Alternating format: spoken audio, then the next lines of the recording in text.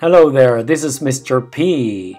On today's lesson, we're going to look at direct object and indirect object. So let's get started. Let's start with direct object. So it is a noun or a pronoun.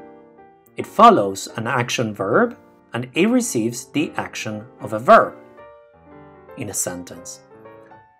A direct object can be found by asking who or what about an action verb.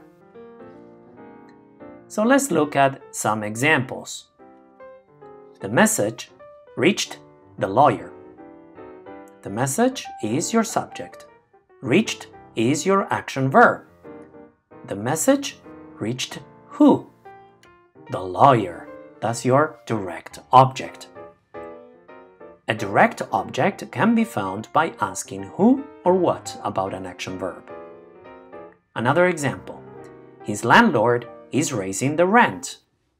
His landlord is the subject, the action verb is raising. His landlord is raising what? The rent. So that's your direct object. Again, a direct obje object can be found by asking who or what about an action verb. Next example Marty and Carol served pie and ice cream for dessert. So we have Marty and Carol as the subject. That means is a compound subject because there are two people. Then we have a verb, served. So we can ask Marty and Carol served what? Pie and ice cream, direct object. So a direct object is never an adverb or the object of a preposition, just like these examples. Joanne walked what? Her dog. That's your direct object. So, Joanne walked briskly. That, that is a is an adverb. So that's right. So briskly is an adverb. And Joanne walked to the store. That is a prepositional phrase. So let's do this exercise. Identify the direct object. Highlight or underline the direct object. Pause the video and then we'll look at the key. This is your key. They gave Harold what? A new car. Miss Jones offered the girls what? A cake. My grandma always wishes me good luck. Luck is your direct object. I bought what? It for my sister. I'll get what? Them for you as soon as I can. He brought what? A bottle of wine to the party. Sean liked what? My lesson on direct object. Great! So now that we have the direct object, let's look at the indirect object. That's right. So it is a pronoun or a noun, tells to who or to what or for who or for what the action of the verb is done. Andy brought a flower. Okay, so we know that flower is direct object. But if I said Andy brought me a flower, then me is your indirect object. It would be the same as saying Andy brought a flower to me. So to me would be your indirect object. And the flower, of course, direct object. Another example. Sarah showed the class her new glasses. So the glass is your indirect object. Glasses would be your direct object. So you would ask, Sarah showed her new glasses to who? To the class. The same with a second example.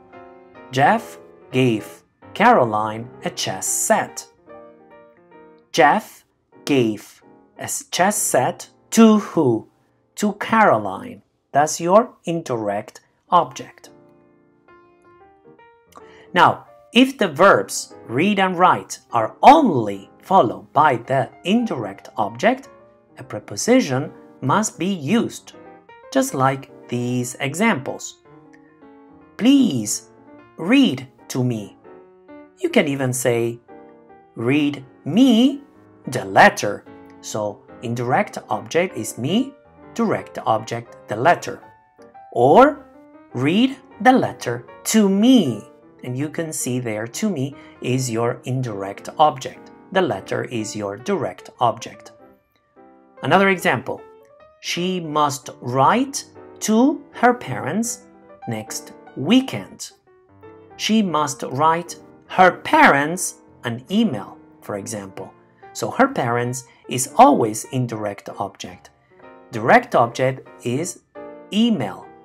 Or you can even say she must write an email to her parents. To right there is to her parents is your indirect object. Please note, and here we have an important note. If there is an indirect object, there must be a direct object. However, however, and this is important here, you can have a direct object without an indirect object, just like the examples we already saw. Now, Another important fact only action verbs have indirect objects and direct objects. Only action verbs. Linking verbs do not have indirect objects or direct objects. Linking verbs are those like be, look, taste, smell, stand, turn, etc.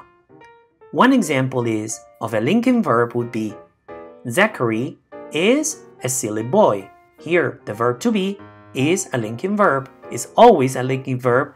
Sometimes cannot be a linking verb, but that's another story. But in this case, is a linking verb.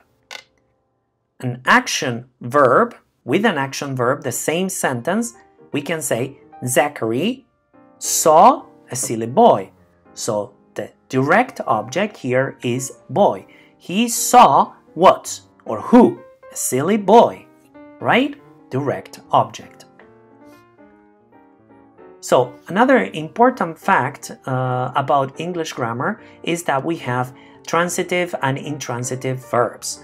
A transitive verb is an action verb with a direct object.